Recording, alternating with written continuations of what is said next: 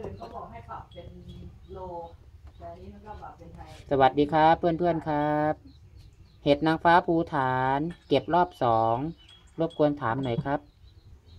ทำไมดอกเห็ดจะออกซีดๆขาวๆนะครับ ไม่เหมือนครั้งแรกที่เก็บเลย เพิ่งเปิดดอกได้ เก็บได้ประมาณสักสองอาทิตย์นะครับ อันนี้ชุดที่สองออกมาอย่างนี้ ตัวก้าน ตัวก้านดอกนะครับ ก็จะเหนียวเหนียวนิดนึง ไม่เหมือนแรกนะครับ เหมือนครั้งแรก